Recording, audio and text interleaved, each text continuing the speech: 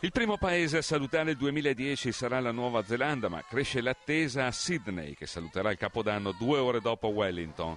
Nella scenografica baia che guarda l'Airburg Bridge, migliaia di persone hanno passato la notte in tenda per non perdersi lo spettacolo, uno show pirotecnico tra i più belli al mondo.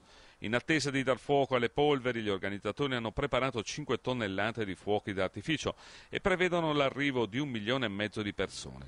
Dopo l'Oceania sarà la volta dell'Asia, sarà spettacolo nei cieli di Singapore ed Hong Kong. Dai cieli asiatici a quelli di Casa Nostra, dove il maltempo rischia di rovinare la festa, si prevede pioggia sul versante tirrenico e sul centro-nord, Triveneto, Campania e Sardegna le aree più interessate dalle precipitazioni. Molti concerti di piazza chiamati a scandire l'arrivo del nuovo anno. Tra i più attesi quelli di Roma lungo Via dei Fori Imperiali con Antonello Venditti e gli Zero Assoluto. E di Napoli con Renzo Arbore e l'Orchestra Italiana. A Venezia il Capodanno sarà accolto, acqua alta permettendo, con un bacio all'unisono in piazza San Marco. A suggellare lo spettacolo potrebbe esserci anche un fenomeno astronomico. Si tratta di un'eclissi parziale che oscurerà l'8% della Luna. Marco Melegano, SkyTG24.